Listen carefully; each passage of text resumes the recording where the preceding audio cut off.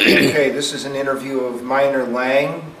It's at the Connecticut Street Armory, Buffalo, New York, Wednesday, June 12th, 2002, 10 a.m. The interviewer is Michael Russert. Okay, uh, if you could tell me your full name and when and where you were born, please? Miner Lang, born in of Ashford, that's West Valley, New York. And could you tell me about your pre pre-war education? I graduated from high school in, in West Valley Central School In what year did you graduate? in 1941. Okay. Did you have any occupation or work before the war? Yes, I, well, I couldn't get a job out, out of high school. Every place I go, I was too small.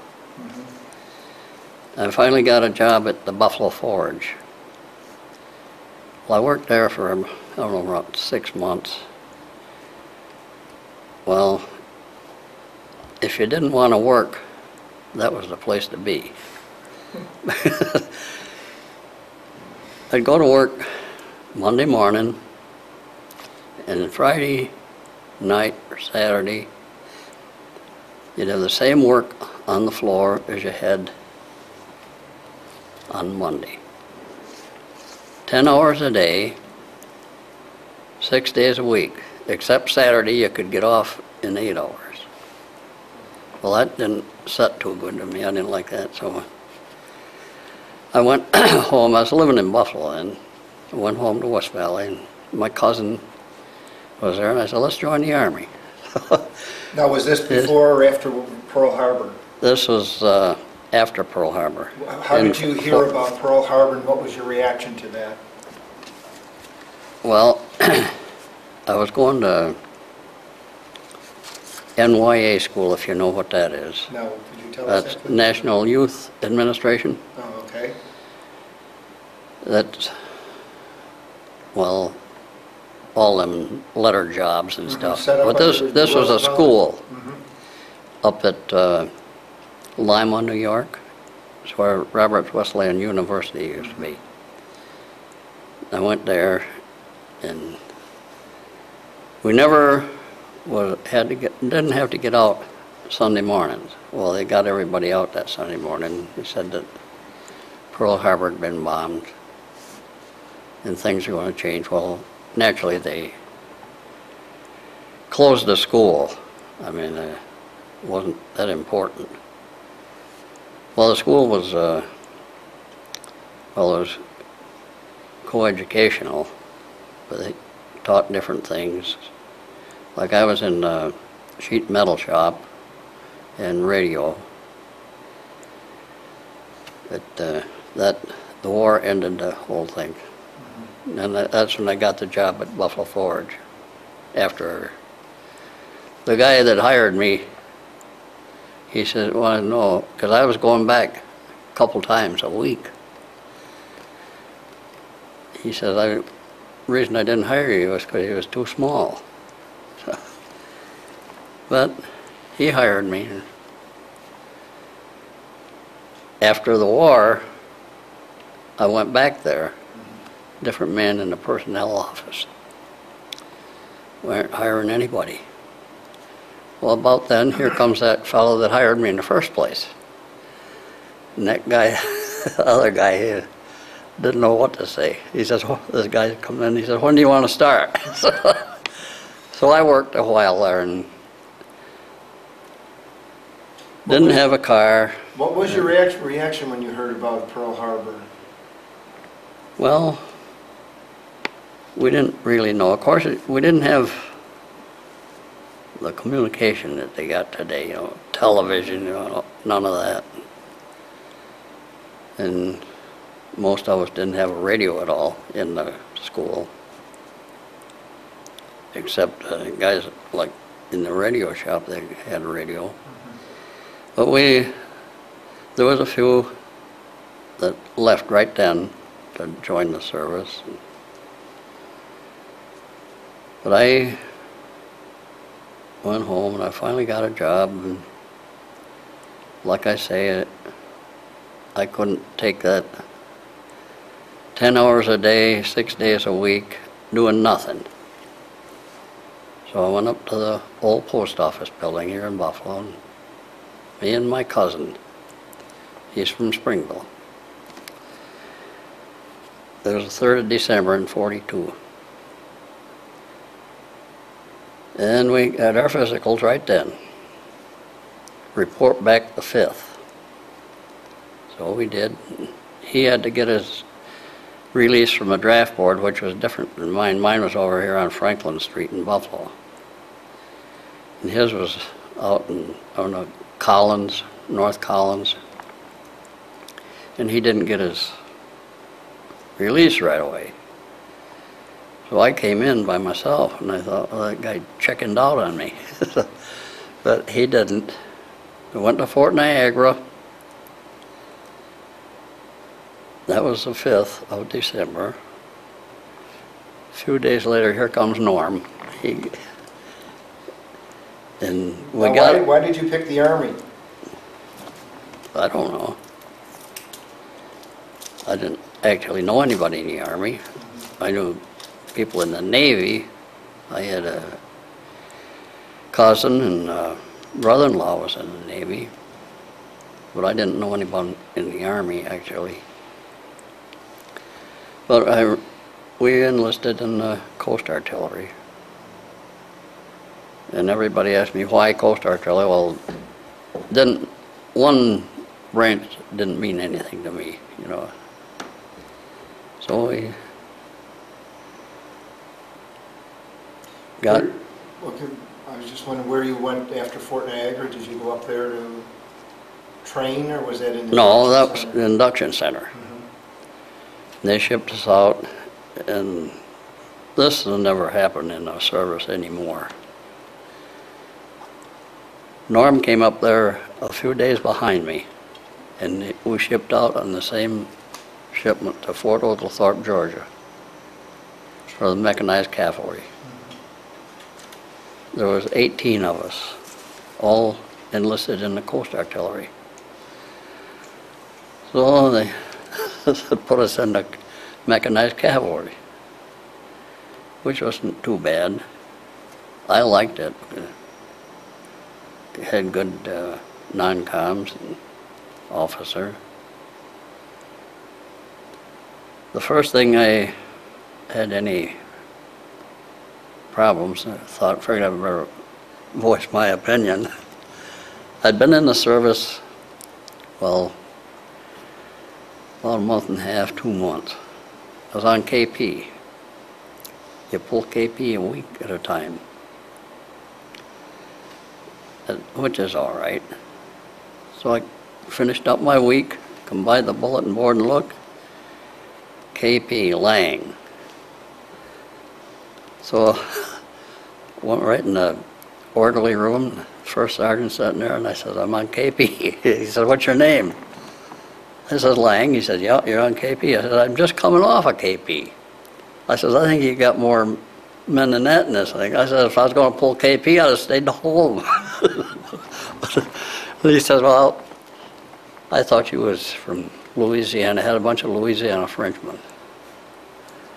And I don't know if he had it in for him or what. He says, well, you won't be on it. And I never pulled KP after that. But then there was one fella, he didn't like the basic training we was getting. And he complained to his uncle, which was a big wheel in the Army. I don't know what rank he was. So he says, all of us guys can go to the Coast Artillery. There was only two of them stayed in the cavalry. So we go down to the Atlantic Beach, Florida. That's about 20 miles out of Jacksonville. Get down there and I don't know, it was pretty near midnight. They put us in these, we had these five-man huts. Gosh, I woke up in the morning, sun shining bright and no activity around. Eight o'clock, reveille. I was used to 5 o'clock the other place. But that's the way it was, and it was a nice place. I mean, they was just building this camp. And we took basic training in uh, Coast Artillery. What were some of the things you did in basic training in, in coastal artillery? Well, they had uh, the Coast Artillery, where we were, was the 53rd Coast Artillery. They had these uh, guns, they, they didn't call them guns. It was a 155 rifle. And we, they had uh, emplacements down on the beach where these We'd go out there and fire these. They had, uh, well, the master gunners would give directions what, how, where uh, they had, uh, the Navy would pull a target behind the ship and you'd fire out, well, be like 12, 15 miles to hit them targets, if you could. I mean, but that, I got put in the motor pool. I was a truck driver to begin with. and, Well, it seemed like everything that come up, they'd have me doing it, you know, put on special duty, all this stuff. Well, one time, I don't know what happened, I was on special duty, and it comes Saturday morning, there's a big inspection in the motor pool. Well, I was assigned to a two and a half ton truck. Well, I wasn't in camp Friday to clean my truck up. All the rest of the guys, they clean it up for me. You oh, know, we're gonna fix him. So I'm standing by my truck, and here comes the camp commander. He was a bird colonel. He come over and he looked in the and the engine had the hoods up, you know. Turned to me, he says, how come you haven't painted this? I said, I just admit that. That's good. He says, you don't paint that. All the rest of the guys painted theirs and they all got gig but me. Their little trick backfired on them. The company commander, or battery commander, he was a first lieutenant, Charles McClure. In civilian life, before he got in the service, he was a boxer. He fought under the name of the kid from Paducah. He was a little short, real stocky. And he had the ears to prove it. He had cauliflower ears. And he was good. And I'd been driving him in a Jeep. And I had the Jeep in the, getting serviced that day. And they gave me a, we call them a Recon. It was a two-seated Dodge. It just about had a ladder to get up into it. So, and it was one of these vehicles, it was just almost impossible to shift unless you knew how to do it. If you could speed shift it, you could shift without grinding the gears. So I'm going to take him downtown for something. And he says, let me drive this. So I give him my trip ticket and I says, I want to ride in the back seat. I said, I never rode in the back of one of these. Okay. Pull up to the guard on the gate. He showed the guard the trip ticket. and the Guard says, okay. He starts to pull away and the guard turned around and gave me the snappiest rifle salute you ever saw. I don't think that guy even knew that the captain was, or the lieutenant was driving the thing. But he was a good guy. And I was coming back from Jacksonville. This is, I got assigned to this special duty job, a courier. go back and forth to the headquarters in Jacksonville. That's where the headquarters for southern sector was. Make two trips a day. Coming back from the one trip, I met a Jeep, two army trucks. They were going into Jacksonville. Well, I waved to them. Kept on going. Pretty soon I looked in the mirror, here come a Jeep. He's really moving. Pulled up alongside of me and pulled me over. It was a battery commander. He knew that my cousin was, or he knew that we was cousins. And my cousin was getting shipped out. He said, you want to go with your cousin? I said, no, I'll stay here, I think. So, uh, he, at least he thought enough to, I'll give him that much credit. Most generally, they didn't want relation in the same outfit.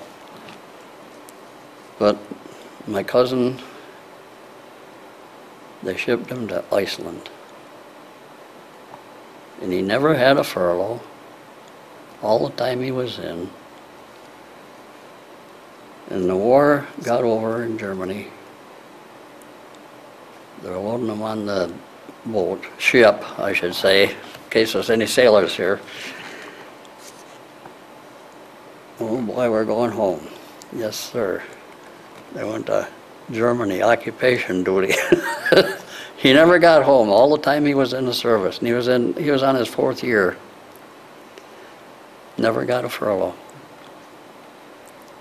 His mother always blamed me for that. I don't know why.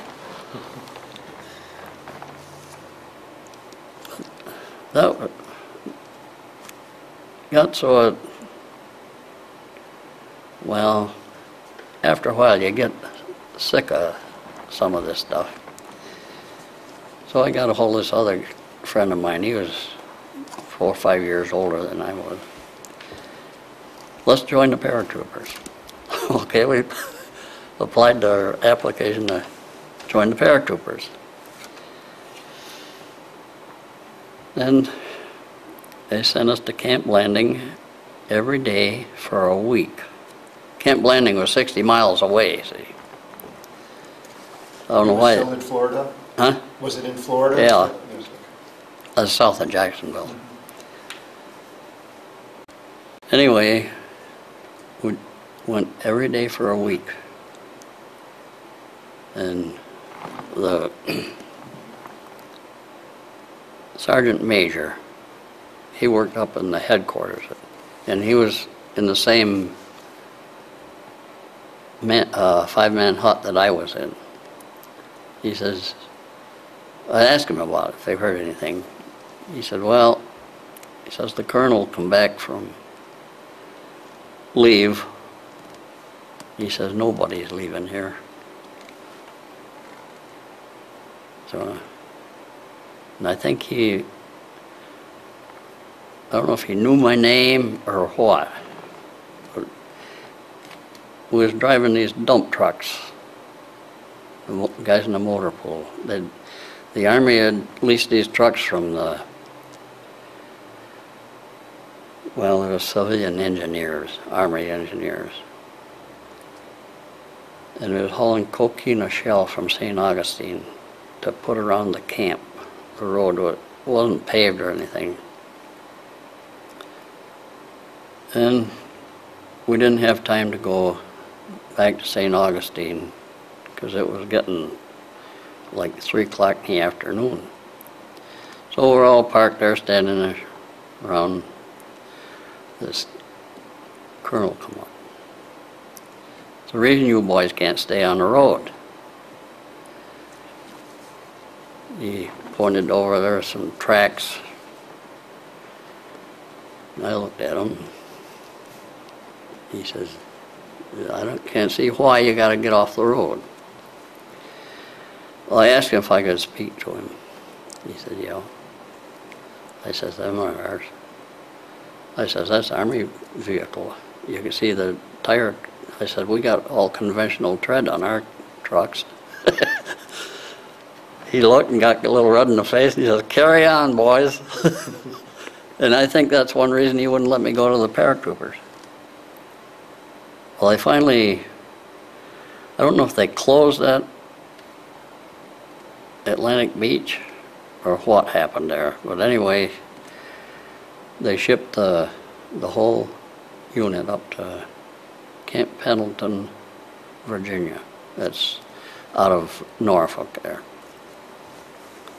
That was a big coast artillery thing. And, Well, Fort Monroe too is where they had that big 16-inch gun. So I was up there and I got this other friend of mine, let's join the, they had a thing up, anybody want to go to the infantry? Good. So I said, let's do that. So we did. So we got our orders and they took us to get on a train in Norfolk to go to Blackstone, Virginia, which was only about 90 miles away at the most. Well, they give us a meal ticket. We get up to Blackstone, and I told my friend, I said, "No, I've been in the service long enough to know if they give you a meal ticket, you better use it." So we found a restaurant and asked them if they'd take that meal ticket. Yeah. Got all done eating, now we're ready to go back to, in the army. Went back, and there's no trucks there.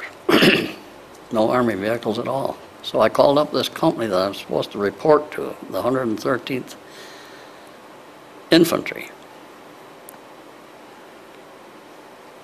And uh, he says, are any trucks down there? He says, supposed to be some trucks down there. I says, no, there ain't nothing here. I haven't seen any. And he said, where are you coming from? I says, Camp Pendleton.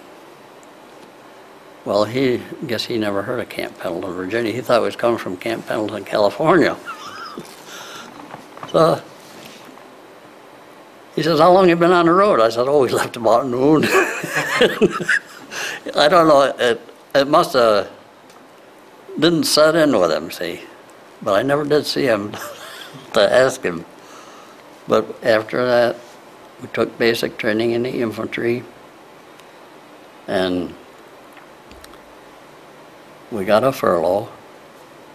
Everybody, sent everybody home. You didn't get any papers, they just send you home. And we'll mail your orders. Well, I got orders to report back to Camp Kilmer. That was a port of embarkation, you know. I went down there and went Now, over, where is- What state is that one? New Jersey. It's right close to, well, I guess they call it Fort Dix now, it was Camp Dix. That's where we got sent over as replacements. And we landed over in Liverpool, England. They put us on a train, a little toy trains that they have in England. I don't know how far we went, but the, in distance, but it was near Bath, England, Warminster Barracks. Well, our Warminster Barracks was a pup tent. So we're there, well, not quite a week, and they load us up in these trains again, go to Southampton. Got on uh, one of these Liberty ships. It was manned by English. I don't know why there wasn't any American sailors, men in that. But anyway, we went from there and we got off. There wasn't any dock or anything.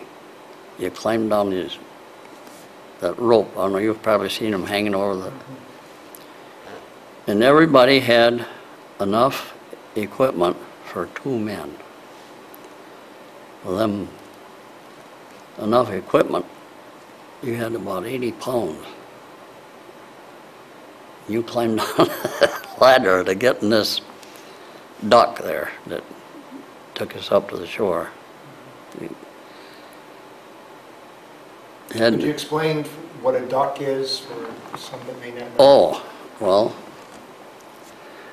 Duck is one of these, actually, it's, uh, had the same engine as a two and a half ton truck. It was, had the front of it went down. When we come to the shore, they go in as far as they could, you know, without getting hung up and drop the thing down. That's what it was made for, is to, well, they call it an LCI, Landing Craft Infantry. And that's what it was, is they'd take us, then we get up on the beach there. This was after D-Day. What date was this when you arrived in France?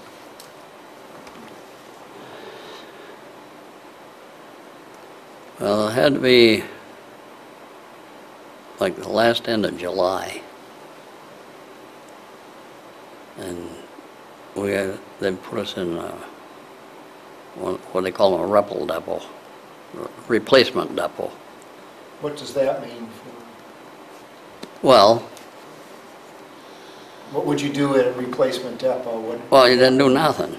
You just hung around. And when they decide they're gonna, this division up here needs hundred men, they just send hundred men.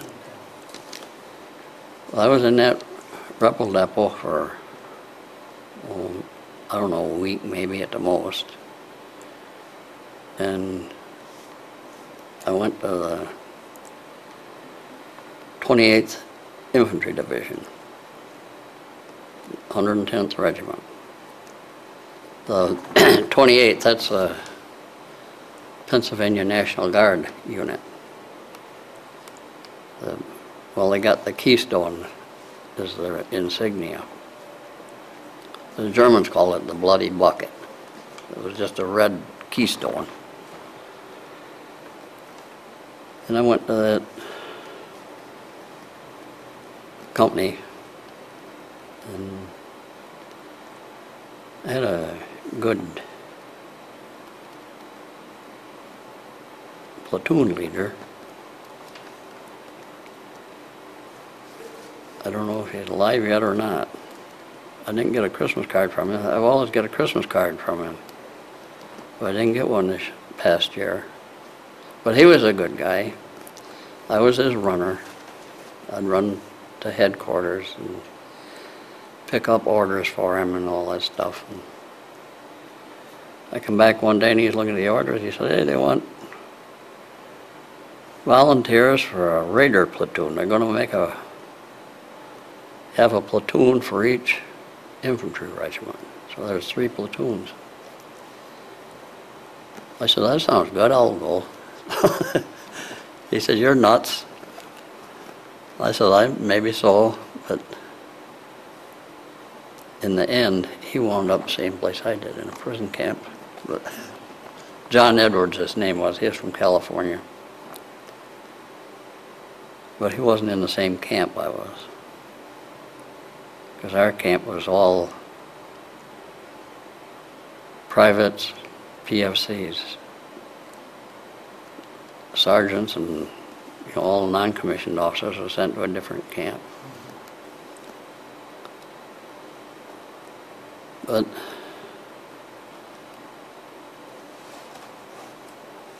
anyway, before that, I was in this raider platoon, and we used to do a lot of patrol work. We never worked for one company steady. Maybe this company over here needed a, a patrol to go out, check what the Germans are doing, what they got and all that stuff. And that, that's what we done. So your job was reconnaissance? reconnaissance. One time, the, this one company was surrounded, and a general was in there. General George Davis. He was from Worcester, Massachusetts. We went in there, was sent in, the, the squad that I was in, it just took one squad. And we went through the German lines and get into where this company was and get the general and come back through the German lines. And we got him out and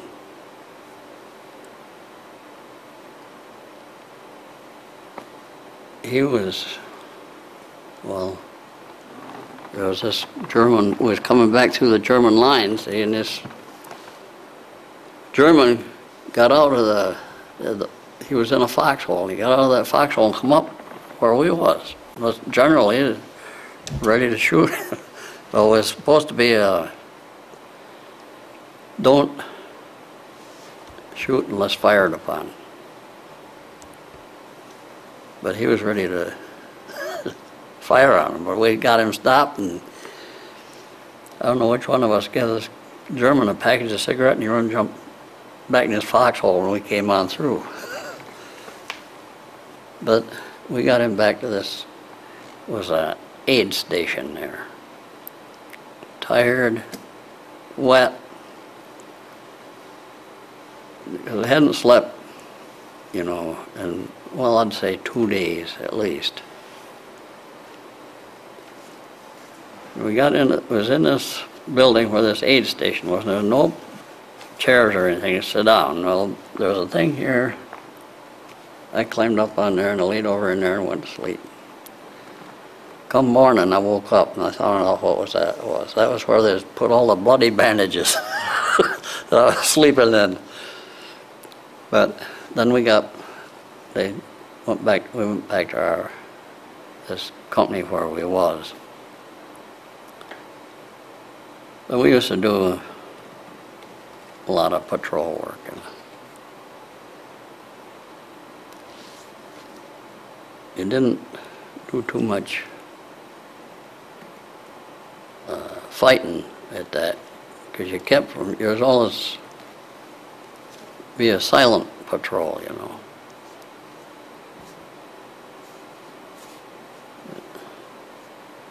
There's a lot of different things, and they, we, they pulled us back one time, supposed to be a, a rest.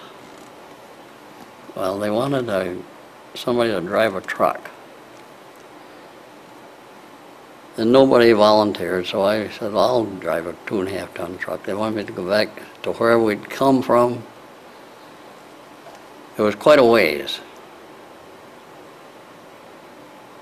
supposed to pick up gas mask. Well, shucks, I don't know where there would be any gas mask because you never, you didn't carry that gas mask. You just tossed it away. Get back up there, ain't no gas mask up there. So I went back.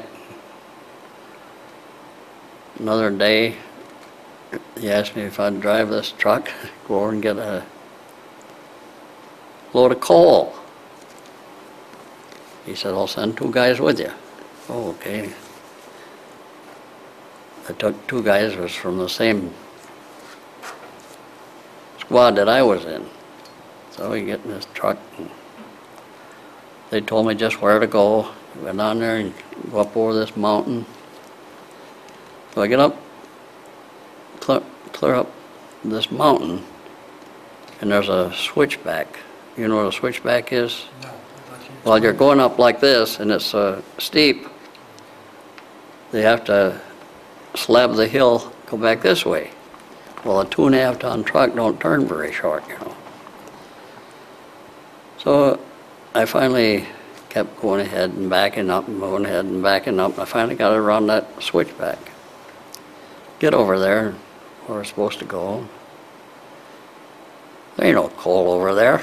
So we start back, and this friend of mine, he's from New York City, Philip Freed. He let me drive a while. Okay, so he, he's driving down the road, and pretty soon here we come to that switchback. He stopped. I said, "What's the matter?" He says, "I guess you better take it." Him and the other guy wouldn't even ride with me to get back around that switchback, because if you fell off of that switchback, it was, you was gone. They wouldn't even ride with me. Get back, told like company commander, I said, wasn't any coal over there? So he didn't say nothing. But when, before that, I was in the Hurtgen Forest. That was a rotten place. You couldn't see very far because of the trees. And there was shelling, there's bombs would come in and they'd have what they call a tree burst. It'd hit the tree and it'd blow. Shrapnel falling down, I never got hit. My buddy got hit. And I took him to, dragged him down to where there was a medic. The medic says, come here, I'll get you all fixed up. I said, I'm not the one that's hurting, he's the guy that's hurting. He said, yeah, but you're the one that's bleeding. When that shell hit, the concussion knocked the rifle out of my hand and hit me in the face. Had a bloody nose. And the guy was in a foxhole, that cured me of foxholes. It killed him, the concussion came into that foxhole and it killed him. This lieutenant up at the VA hospital, said, how do you know it? Concussion killed him. I said, there wasn't any holes in him. It Had to be concussion. Well, that's all end of that story, so. But anyway,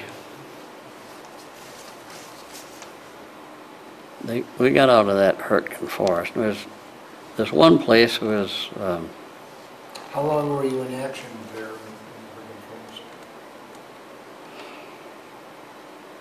well, we was up there probably a week. But you never, I didn't know one area from the next. It was all front line as far as I was concerned. This one time was taking the pillboxes. And these pill boxes, there's a pill box here. These pillboxes are overlooking so that you can see. So there are six infantrymen guarding this tank to go up there to bulldoze his pillboxes shut. What were they made of? The pillboxes, Mhm. concrete, concrete. concrete and metal. They wouldn't come out, so the only thing you can do is to make sure they can't come out. Well, there's one fella, there's two guys bringing up the rear on this tank and two guys on the sides. They go up and, this one guy was just getting ready to go up. Bang. He was yellow, is what he was. He shot himself in the foot, so he wouldn't have to go. I told a friend of mine, I says, it's a good thing we didn't know that before. He wouldn't have had to shoot himself he'd have got it himself. Because the way we looked at it, we're supposed to protect him and he's supposed to protect us. And if he ain't gonna protect us, he, he isn't any good to anybody. So, But we got the pillboxes covered up. I don't know, Okay, we'll stop. Okay. Oh.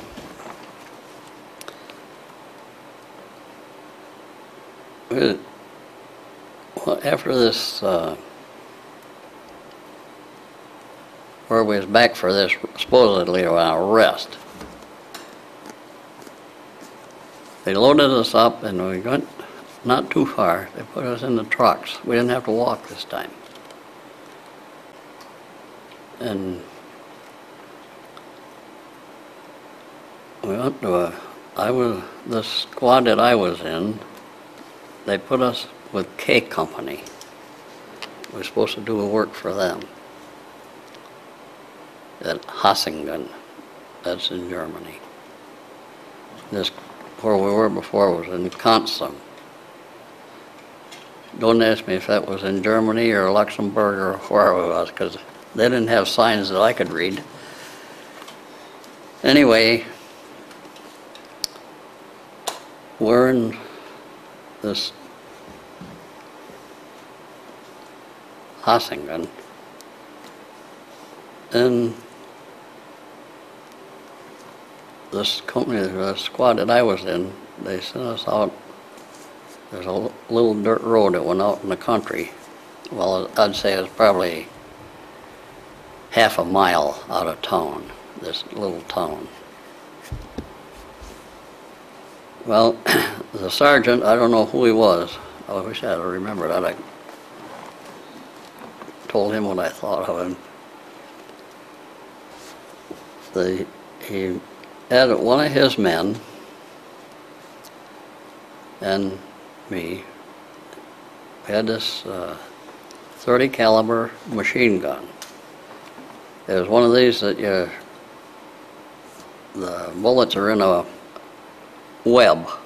You had to feed the, took two men to run it. You. Had a box there and one guy's feeding it and this other guy, he's shooting and all, it was dusk. You couldn't really make out, but you could see people walking. There was a whole line of them like, like a squad of men. And he said, we better shoot him. So he opened up, I don't know how many rounds of ammunition we shot. Nobody shows up from this house that was where the sergeant was. Said, we better go back into town and see what's going on. So we went back into town. And the sergeant, I found out later, he'd forgot us that we was out there. But I went out that next morning, meeting, well, what was left of my squad, there was six of us. That this, there was a hotel, supposedly a hotel. But, that, and he just laid down on some beds there. We was down on the first floor. This friend of mine, he said, come on, get up there, shoot, shooting. I said, yeah, I can hear them. I said, they, they're, they're way up on the third floor. I said, when they start getting down lower, I'll get out of here. But anyway, I got up and I thought, I'm going up and uh, where I, we was shooting the machine gun. Sure enough, there was that row of dead Germans. But that sergeant never come out to see what was going on or why we was doing all that shooting. That was on a, I don't know what day of the week it was. I couldn't remember days of the week. It was all alike to me. What month of the year was this? Remember that? In 44, What month? December. December, okay. Cold. Mm-hmm. Now, were you given winter gear? Did you have your winter Well- equipment and? We didn't have, all we had was our ODs mm-hmm. and you had a pair of gloves. And this platoon I was in, we never had got any overshoes.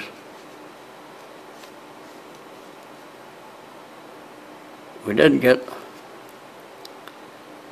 I forgot when it was, we changed clothes. We hadn't had a shower in quite some time. And we got in there and I took a shower.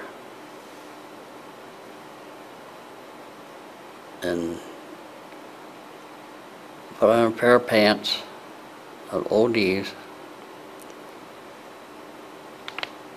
that fit. Then you get another pair that's a little bit too big for you.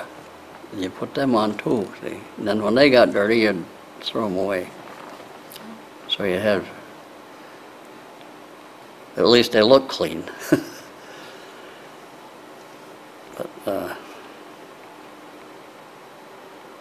when we was captured there, this lieutenant from this K company, I don't know what he, if he was just a platoon leader or what he was. I don't even know what his name was.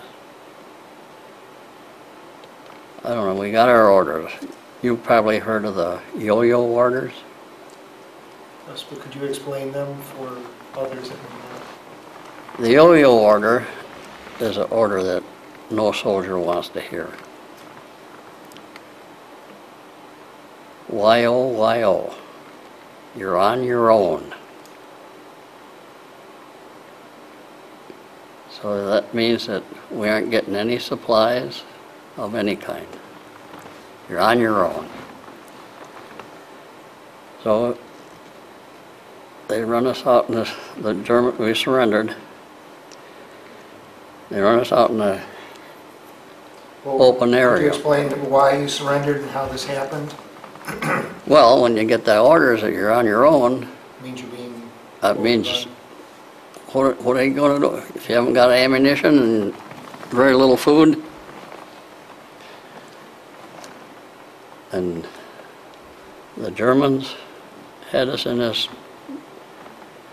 well, like a cow pasture.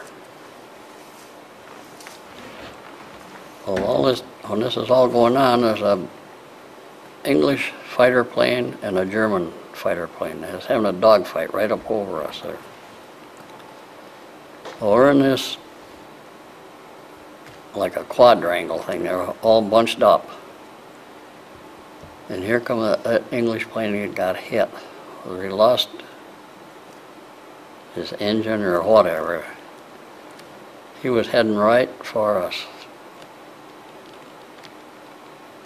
He probably thought we were Germans, and he got close enough to see that we weren't Germans. And he veered that plane off just enough. It went over the crest of this knob right there. Wasn't, wasn't 200 yards from us. He hit the ground, it's nothing but a ball of flame. That's, I call that man a hero. Because if he'd have hit us, there'd have been a lot of dead Americans. But they marched, they marched us for two days and two nights. The Now, this was in the Ardennes? No, Part of the Bulge, though? in the Battle of the Bulge, this was the end, Mhm. for us anyway. They marched us for two days and two nights. We came into a town called Gerolstein. There was a rail head. We was in this, what they call a roundhouse, you know, if they run a, the engine on that merry-go-round thing and turn it to go back the other way. So we stayed there the next day, and they loaded us in these box cars. How were you treated? Were you given any food or anything? No, no, no food, no water.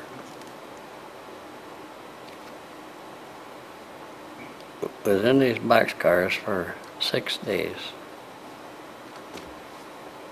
And I don't know how many was in a box car, but there wasn't a, there wasn't room for everybody to sit on the floor. Some had to stand, and take turns, you know. They didn't give us anything to eat. One day was in this one rail yard. See, the POW train didn't have any priority over anything. If there was a supply train going somewhere, why that supply train went through and we sat. One day they let us out of these boxcars and there was a pipe coming out of the stone wall. We got a drink of water. That's the only thing we had. But they, then they came around, they said that there was a French prisoner of war camp. It was these Red Cross boxes. Well, what's the French doing with the American Red Cross box? we figured that the Germans had these boxes and they, there was 26, they divide them up, see, 26 men on one, a one-man box, if you know what a, the box was about this square and about so high. And I haven't seen anybody yet, I've asked lots of people. How you divide a can of sardines 26 ways? That's what it was. Everybody stick their finger and that was about it.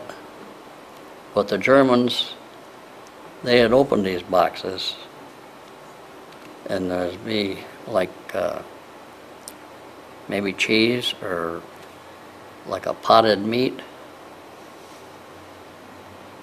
They, the Germans would take and jab a hole in that can so you couldn't maybe save up and escape sometime. You had to eat it right then or it uh, wouldn't be too long, it'd be spoiled. Well, anyway, we went to Bad Orb, Germany. That is near Frankfurt. There's two Frankfurts in Germany. One is up near Berlin and the other one is down near Nuremberg. Well, that's where we were, down there. I figured we was maybe 50, 70 miles from Nuremberg. That, I, I'm glad that's as close as I got to that place. We went to Stalag 9B. And they interrogated us, one at a time. Go in and talked to this, I don't know what he was, uh, some kind of an officer. Ask you this and that, and he asked you what outfit was you in and all this stuff. Name, rank, serial number, that's all you give. It's a little different today. They, they can do something else if you're captured. But at that time, you didn't tell them anything, only your name, rank, and serial number. I don't know, he asked me, must have been half a dozen times. He said, well, you was with the 28th Division, you was doing this and that. I said, well, now we both know. He didn't like that. He gave me my, he took my name down, gave me my German dog tag. I don't know if you ever saw one or not. I was gonna bring it today, but I forgot it. It's metal, about, about this long, this high, and it's serrated in the middle. It's got on there IXB, that's 9B, and my number was 26715. I, I carried that in my billfold for, I think, 35, 40 years. And I started getting bent, and I thought, well, I better not do that.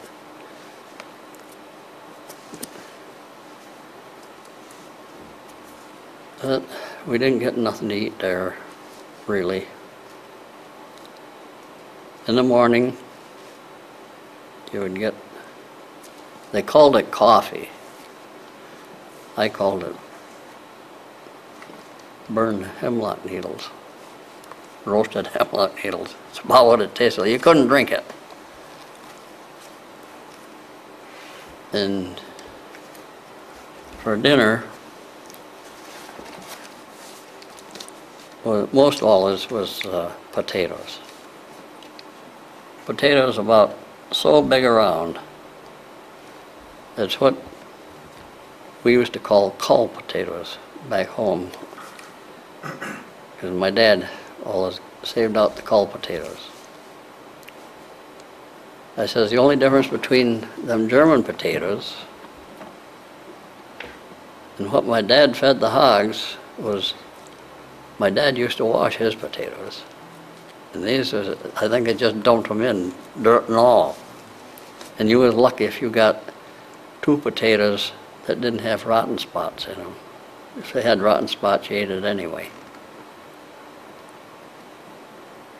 You used to have at night, you get a loaf of bread with divided up into groups. There are six men in a group.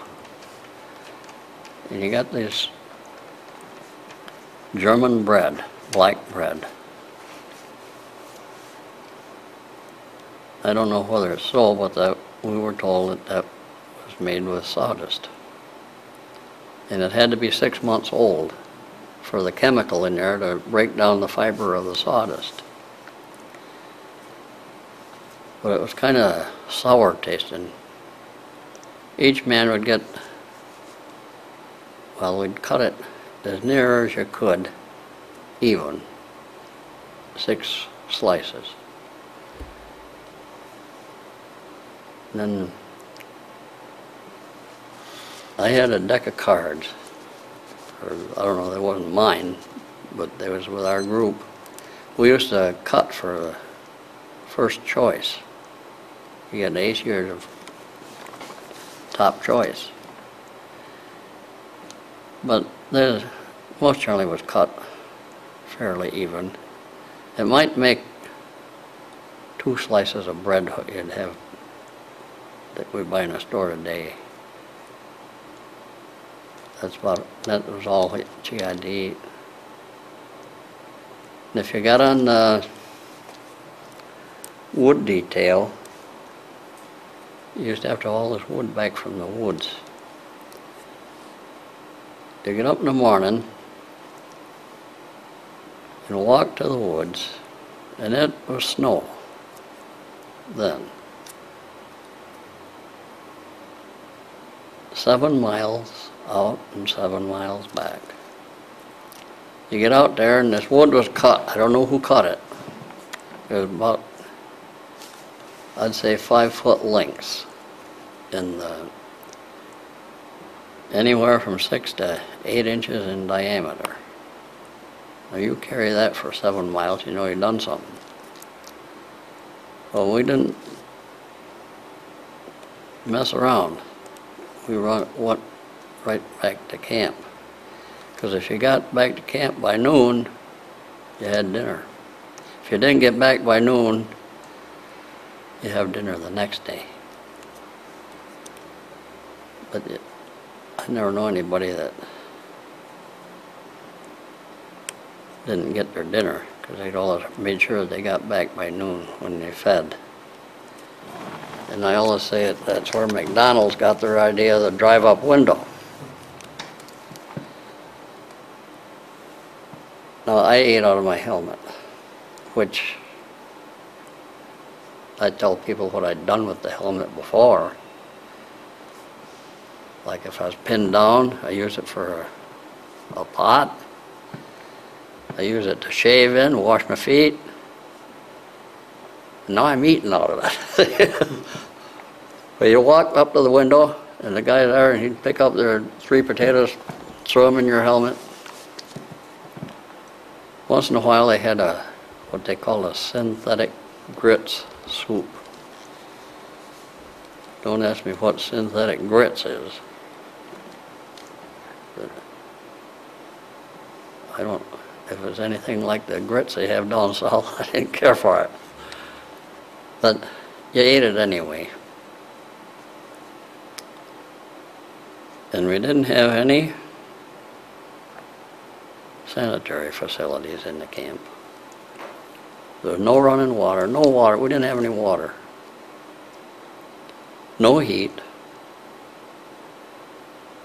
The first night when we was there, there was a little bulb hanging down, there was a light. That was the last light we saw. They didn't give us any more lights that night.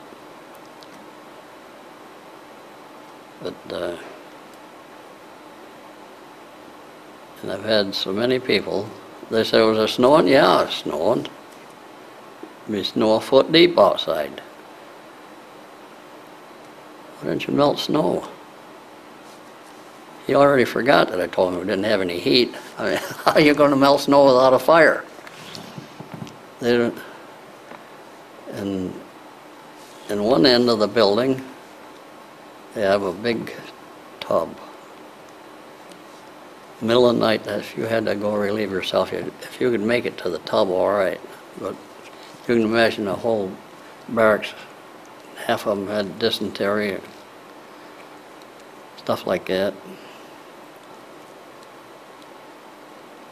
And outside, up, out away from the barracks, they had a big hole dug. Pole here and pole here, and a limb between them. That's where you sit to go to the bathroom. No toilet paper. I had a handkerchief. I used that handkerchief all, all the time I was in there, getting pretty, well, you'd let it kind of dry out and then you'd rub it to get it, the dirt off of it. And there was no, if you was sick, you was sick, you didn't, you go on a sick call, they didn't even have an aspirin to give a guy. I never went on a sick call. And had body lice, something fierce. I don't know if you know what the long handles was made out of there, and they had the seams in them. In the daytime, we used to take our, our shirt off and squash them lice in our thumbnails. The same thing all over again the next day. When I got out of prison camp, I had holes in my, by my ankles on both sides. About, well, like two inches, all infected. Them scars, I had them for about three years afterwards.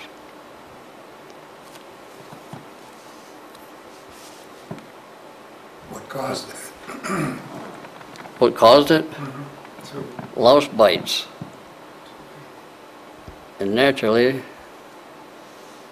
know, say you get a mosquito bite, first thing you do is itching it. And you're itching that, and the first thing you know, you got infection. and-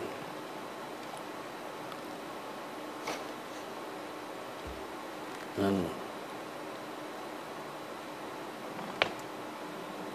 we liberated, well, Easter Sunday.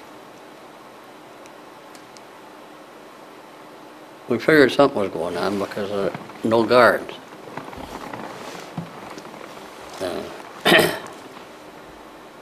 Then it come in the morning, Easter Monday, it was, which was April 2nd. The tanks came in. And we were liberated April 2nd. The American? yeah, uh-huh, yeah. I don't know what. It seems to me like it was a 707 tank battalion, I don't know. they came in. Then pretty soon, they brought in some stuff to eat, which was C rations. I don't know if you know what C rations were? And you'd eat them, and this lieutenant, he was a doctor. He said, you boys get sick and throw up. He said, don't let it bother you. He said, just go get another can and eat it. But that's, I was in the last barracks up on the hill there. And they was taking us to a, well, a delousing station is what it was. And I was on one of the last trucks to leave that camp. I was liberated April 2nd. It was the 11th of April before I got out of camp. Went down to the delousing station, take all your clothes off and throw them in a pile. And they had stuff that wasn't new stuff. It was, it was clean. It's what, probably some that we'd thrown away earlier. They picked it up and washed it and, well, like I say, I was one of the last ones to go through, and the littlest one.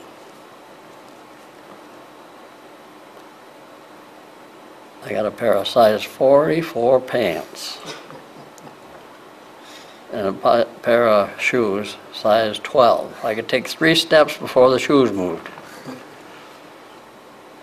But them pants, at least they was clean. That's all I cared. And we had a shower. And they sent,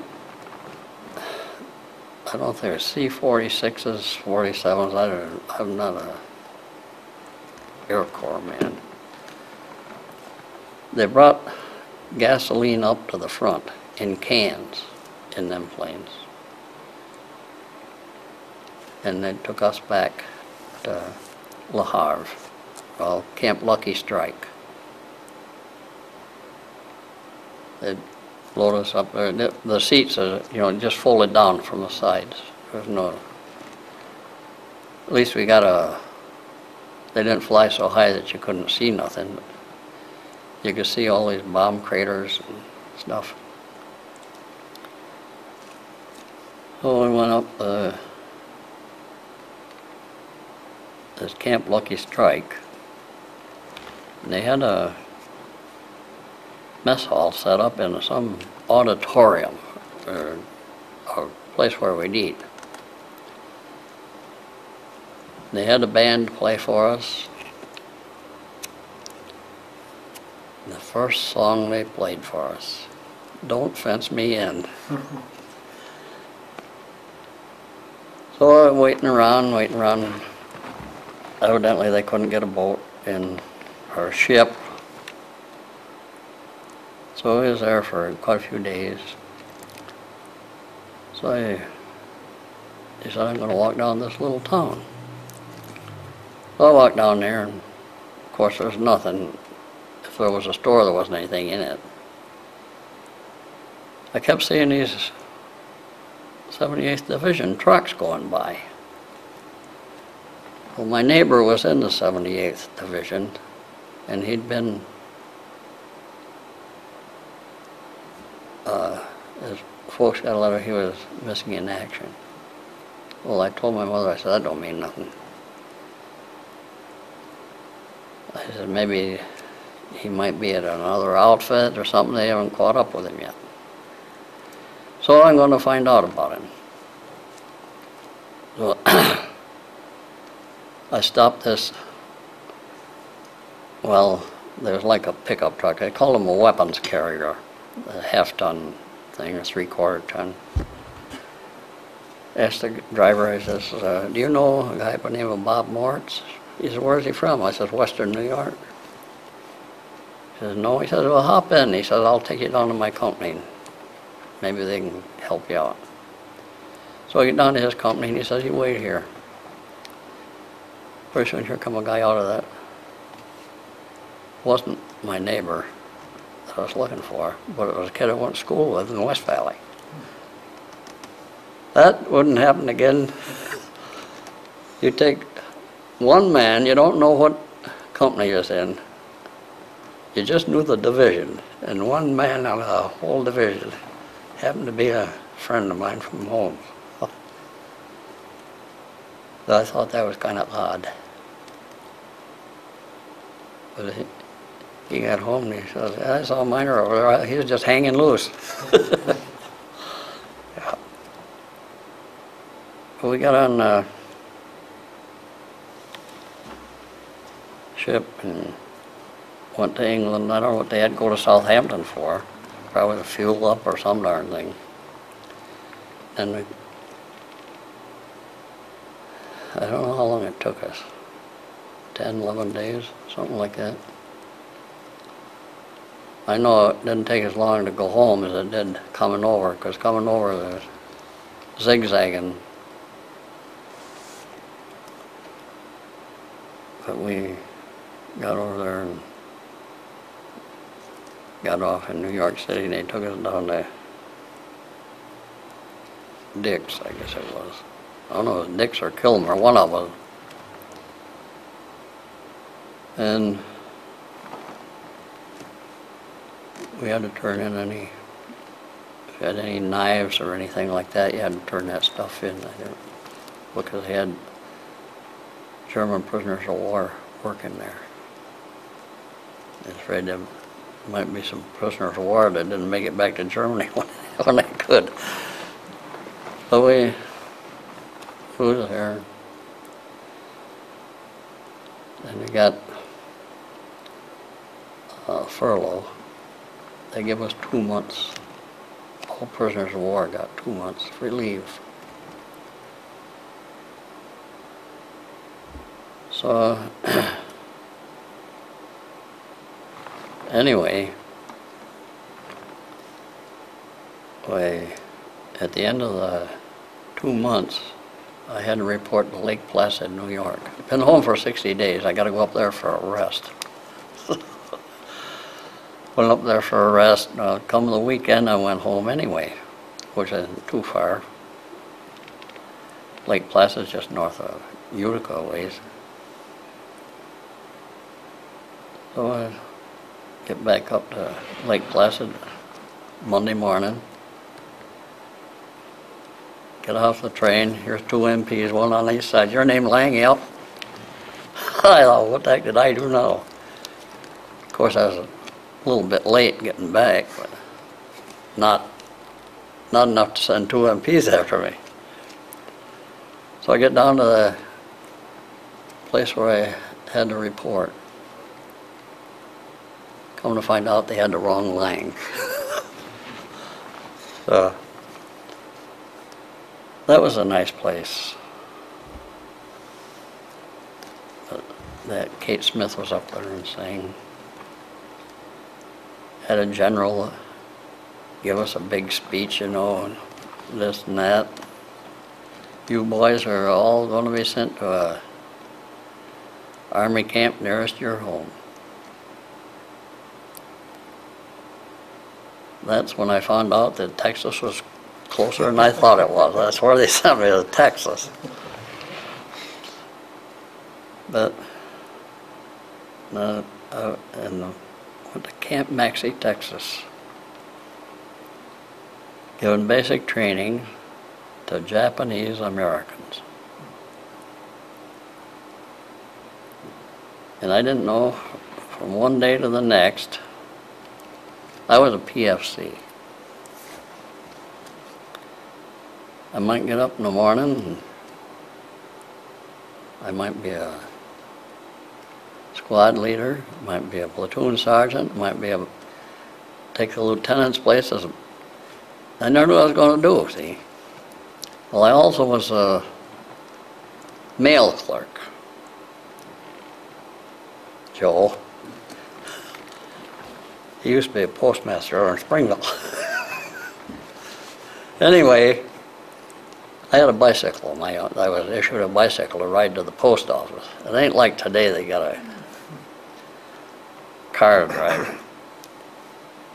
And the main thing, I also had the key to the Coke machine. I was a mail clerk, Coke machine, anything that come up. Well, they finally closed that camp. Sent me to Fort Riley, Kansas in the cavalry.